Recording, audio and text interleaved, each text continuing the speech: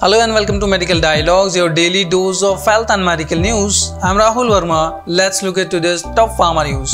Glenmark launches topical gel for the treatment of moderate severe acne.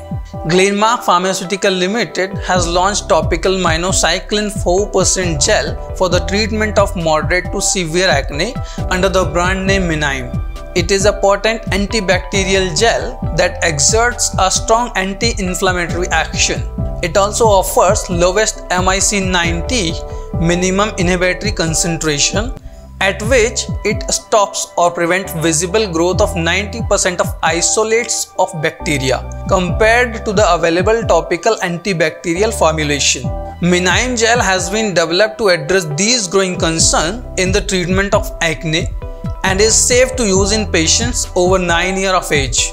Speaking at the launch, Alok Malik, Group Vice President and Head of India Formulation Glenmark said, We are proud to introduce the first topical minocycline based MINYM gel in India, proven for its potent antibacterial effect, anti inflammatory action, and lowest resistance as a treatment option for patients aged 9 years and above suffering from acne.